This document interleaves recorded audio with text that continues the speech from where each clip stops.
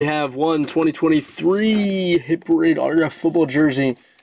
Uh, it's officially licensed as well. Mike has the Colts, Carmen is the Falcons, Scott is the Titans, Jimmy is the Pats, Mike is the Texans, Heath is the Commanders, Leviticus is the Steelers, Jonathan is the Cardinals, Scott is the Niners, Murphy is the Raiders, Jeff is the Ravens, Scott is the Jets, Jonathan is the Bills, Adam is the Packers, Mike is the Boys, Jimmy is the Chiefs, Matthew is the Lions, Jimmy is the Vikings, Man is the Saints, Scott is the Bucs, Marjolin is the Eagles, Kyle is the Hawks, Tony is the Fins, Adam is the Rams, Leviticus is the Panthers, Steve is the Bears, Jimmy is the Jags, Steve is the Browns, Jeff is the Broncos, Sean is the Bengals and Chargers, and Mike is the Giants.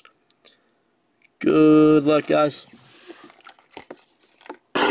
Number 46 out of 100. Yeah, that's typically not the way that you want to, like, typically not the situation that you want to bring your rookie quarterback who's supposed to be your franchise quarterback into. Yeah, you typically want to make sure that they have all the pieces to succeed. So, a little bit of a head scratcher there. Nice one here. How about a Steve Young? Radtke Sports. Authenticated. Let's go on to the Niners and Scott. There you go, Scott. That's Steve Young. That's fire. Uh, that is a. It's a Nike. Uh, probably an on field. Nice Steve Young. Congrats on that. That's sick.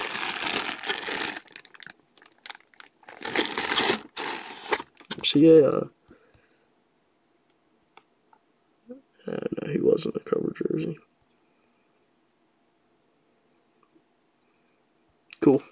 Congrats on that. I believe it was Scott, right? Who are the Niners? Yeah, Scott. Congrats on that, Scott.